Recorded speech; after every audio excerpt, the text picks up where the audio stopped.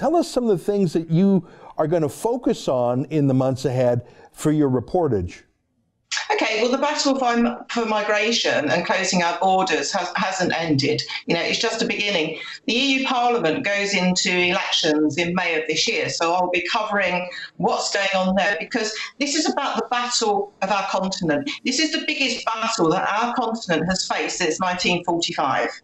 And I don't say that lightly because we got the battle of the populists. We got the chief populist in power in the US. And like you with Trudeau, we have to put up with these liberal lefties sitting in the European Parliament. And they've had it their own way for a number of years now. And with the likes of Matteo Salvini, Geert Wilders, and Strache, all my friends who are now either in opposition or running governments, and Marine Le Pen, I'll be interviewing those main players and saying about what do they want, what do their voters want, because they're now in government. How do you want to shape our continent? Because we're at this tipping point basically in Europe. And Europe isn't just about the EU, it's a wider continent as well. And so therefore it's important that we get Salvini's uh, party, Lega Nord, is likely to be the largest party in Italy coming through. And also Marine Le Pen is likely to be, again, the largest party, and also Geert Wilders. So let's go into the, the, their parliaments, let's interview their people, go to the EU Parliament, interview them, follow them on the campaign trail.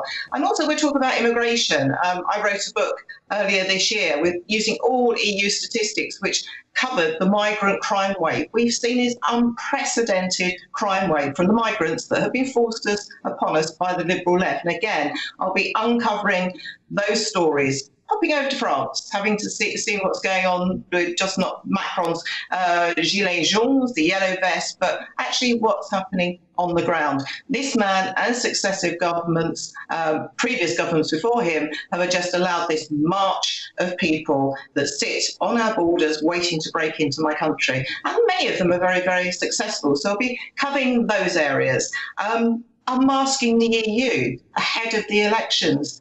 Um, let's expose it for what it is. When I arrived there, I thought I knew this pretty awful um, body that cost millions and millions and millions of pounds a year for the 500 million people across Europe. But you actually, when you actually get in there, you don't realise, it's only then you actually realise the length of the legislation that's gone onto our statute books, and also the waste, the cars, the just the amount of money. I'm not going to give you uh, too much information at the moment, but we'll, we'll take the cameras in and we'll expose this and we'll play this to the peoples across Europe and North America.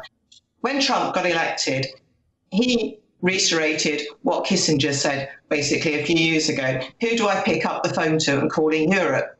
But what Trump said as a supplement to that is he knows if he wants to talk to France, he talks to Macron. If he wants to talk to my country, he talks to May. If he wants to talk to Italy now, he talks to Salvini. You don't pick up the phone to anybody in Europe. Europe doesn't exist. You might pretend it's this great foreign international body. It doesn't. He downgraded them a few weeks ago with the ambassador status because Uh, Obama had elevated them. So it's going in and exposing what they are and how we reshape Europe and how we work with Canada, US, the Commonwealth, across the world, and we shut down these supranational bodies that are run by the global elite. Davos man. That's what those are the, just a few things that I'll be doing for you.